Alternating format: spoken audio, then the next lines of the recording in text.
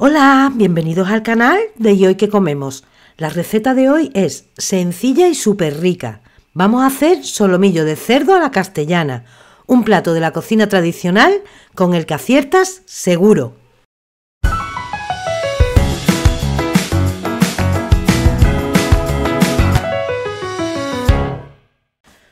Comenzamos cortando, troceando el solomillo de cerdo. Lo vamos a hacer o en medallones o en filetes, como tú prefieras.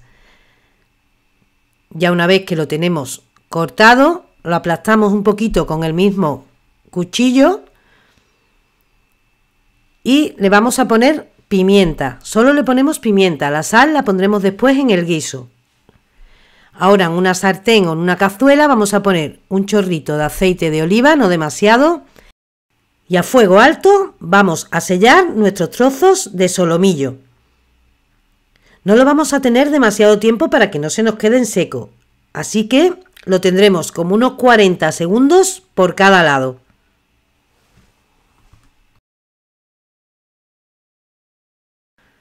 Cuando ya tenemos sellada la carne, la vamos a sacar en un plato y la vamos a reservar. Os aconsejo que el plato lo tapemos para que así mantenga el calor.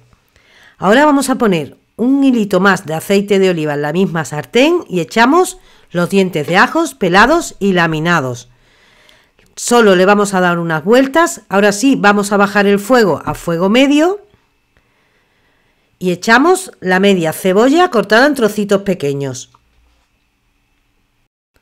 Rehogamos unos minutos, ponemos un poquito de sal y cuando la cebolla se va poniendo transparente, le vamos a añadir los champiñones laminados. Veis que la cebolla ha cogido también un tono dorado, pero es porque absorbe los jugos que ha dejado la carne en la sartén. Ahora vamos a mantener a fuego medio hasta que los champiñones estén cocinados. Ya una vez que lo tenemos hecho, le vamos a poner una cucharadita de pimentón dulce y rápidamente para que el pimentón no se nos queme, vamos a poner el solomillo junto con el jugo que ha soltado en el plato. Ponemos también una hoja de laurel y seguidamente el jamón ibérico o jamón serrano en trocitos pequeños. Damos unas vueltas para que se cocine un poco el jamón con los demás ingredientes, no demasiado, y ya por último solo tenemos que añadirle el vino. Yo en este caso estoy usando un vino oloroso de Jerez. Puedes usar un vino blanco e incluso un vino tinto. Le hace una salsa buenísima. Ya a fuego alto, dos o tres minutos, no más tiempo para que la carne no se nos quede seca, sino que nos quede jugosa.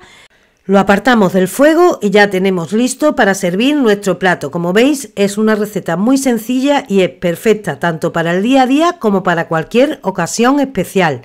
Espero que te haya gustado esta receta. Como siempre, darte las gracias por estar ahí y seguir mis vídeos. Recordarte que puedes suscribirte a nuestro canal de YouTube si es que aún no lo has hecho y que si activas la campanita no te perderás ni un solo vídeo de los que subamos. Nos vemos en la siguiente receta. ¡Hasta luego!